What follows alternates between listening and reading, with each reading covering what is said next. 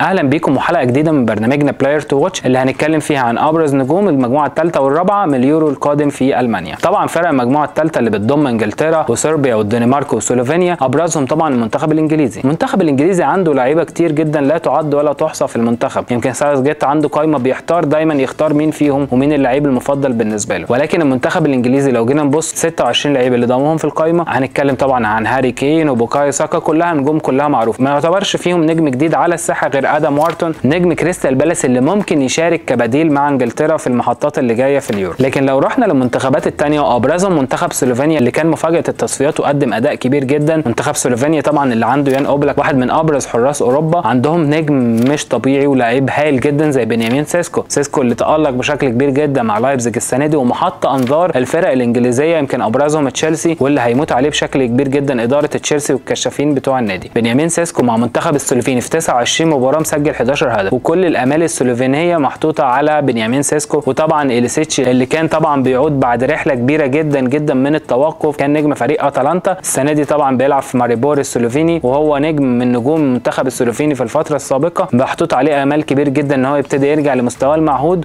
ولو رجع إليتشيتش لمستواه المعهود هنشوف لعيب كبير جدا في اليورو اللي جاي. المنتخب الدنماركي طبعا شفناه في اليورو اللي فات والتألق اللي حصل الفترة اللي فاتت دي كلها. ولكن أبرز نجم يعتبر لمنتخب الدنمارك هو راسموس هويلاند مهاجم مانشستر يونايتد. كلنا عارفينه طبعا وكلنا عارفين هويلاند قدم مستوى كبير جدا مع أتلانتا الموسم الماضي ومع مانشستر يونايتد في الموسم الحالي. ولكن هويلاند محطوط عليه آمال كبير جدا مع المنتخب الدنماركي إن هو فعلا مهاجم هداف. هويلاند اللي في 14 مباراة مسجل سبع أهداف رقم كبير جدا ومتوقع إن هو يوصل لأكبر عدد من الأهداف مع منتخب الدنمارك في اليورو القادم. يمكن المجموعة الثالثه شحيحة شوية في المواهب المنتظرة في اليورو اللي جاي ولكن طبعا لو رحنا لمنتخب صربيا هنلاقي برضه عندهم نجوم كويسة جدا وأبرزهم سيرجي ميلينكوفيتش ومتروفيتش مهاجم طبعا الهلال السعودي. ولكن هناك برضه نجم منتظر إن هو يقدم يورو كويس جدا. لازار سامارزيتش لاعب نادي أودينيزي الإيطالي متألق بشكل كبير جدا في الدوري الإيطالي. يوفنتوس عايزه نابولي عايزه أندية كتير عايزاه. منتظر إن هو يقدم يورو كبير جدا اللي جاي مع منتخب صربيا المجموعة الرابعه اللي أنا بعتبرها من أقوى مجموعات اليورو السنة دي اللي بتضم منتخب بولندا وهولندا وفرنسا والنمسا. أربع منتخبات من أقوى المنتخبات الأوروبية. طبعا أبرزهم منتخب فرنسا وبعد كده هولندا. ولكن مستوى منتخب النمسا قوي جدا ومستوى منتخب بولندا طبعا كويس جدا. لو جينا نتكلم عن أبرز اللعيبة الواعدة اللي ممكن تطلع من المجموعة الرابعة. عندنا طبعا يمكن أبرزهم في المنتخب البولندي نيكولا زالويسكي. زالويسكي المتألق بشكل كبير مع روما وبيلعب أساسي كظهير مع الفريق الإيطالي طبعا السنة دي. متوقع بشكل كبير جدا إن هو يقدم يورو كويس جدا السنة دي. كمان لو رحنا للمنتخب النمساوي هنلاقي كريستوف باومجارتنر لعيب كويس جدا ولعب مع لايبزيج السنة دي. وقبل كده تألق مع هوفنهايم في الدوري الألماني. حتى مع منتخب النمساوي لعب 38 مباراة سجل 15 هدف. وشفناه تألق بشكل كبير جدا في المباريات الودية واحد من أسرع الأهداف في تاريخ المباريات الدولية. لو رحنا للمنتخب الهولندي هقدر أتكلم عن اثنين لعيبة يمكن أبرزهم طبعا تشافي سيمونز اللي هو يعتبر واحد من أكتر اللعيبة أو المواهب الأوروبية الواعدة. يمكن تشافي سيمونز شفناه حتى برضه بيتألق مع هولندا في المباريات الودية شفناه بيتألق مع هولندا في التصفيات شفناه بيتألق مع لايبزيج السنة دي في الدوري الألماني وعامل موسم تاريخي. سجل فيه 10 أهداف وصنع 13 هدف. لكن النجم الثاني بالنسبة لي وهو واحد من أكتر اللعيبة اللي لازم نحط عينينا عليهم جوي فيرمان. تذكر هذا الاسم جيدا. لأن جوي فيرمان مقدم موسم تاريخي مع ايندهوفن يمكن أكتر لعيب صنع أهداف في الدوري الهولندي صنع 16 هدف الموسم ده في الدوري الهولندي بس. وبشكل عام هو صانع 19 هدف مع ايندهوفن ومسجل سبع أهداف الموسم ده. جوي فيرمان يعتبر من أكتر اللعيبة الوسط الواعدين في أوروبا. عنده 24 سنة بس. لعيب كويس جدا ولعيب هايل. نحط عينينا عليه السنة دي في اليورو مع منتخب هولندا وأكيد هيكون أساسي. المنتخب الفرنسي طبعا حدث ولا حرج. عنده نجوم كتير طبعا. مبابي ديمبلي لعيبة كتير جدا ممكن نتكلم عليهم. باركولا حتى نجم باريس سان جيرمان ولكن المنتخب الفرنسي فعلا ما